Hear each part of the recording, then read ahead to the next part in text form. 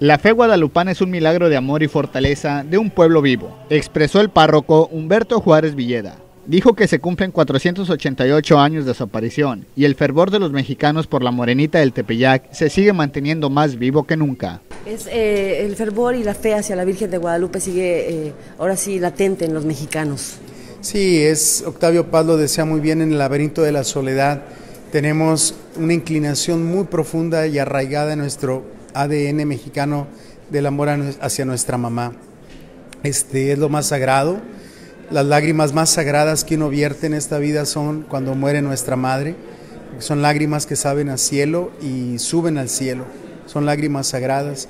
Por eso eh, la fiesta a la Virgen María eh, tiene no solamente una devoción religiosa, sino que lleva algo de la misma naturaleza humana, de anhelar, de clamar a nuestra mamá que nos socorra, que nos ayude.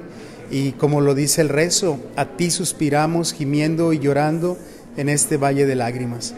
Es un día que convoca a las fiestas, a la verbena, pero sobre todo a fortalecer los lazos de amor y fe que se volcó en esta noche tan especial. Su coronación data desde 1950. La corona es un símbolo material de belleza, pero también de las almas salvadas por su Hijo Jesucristo. Su imagen nos habla de la familia, de ese núcleo en donde fluye el amor. Cada estrella de su manto nos recuerda la luz, la esperanza. Es un códice de amor, es el cielo y la tierra juntos. Con imágenes de Sergio Compeán e información de Maggie López, El Mañana Multimedios.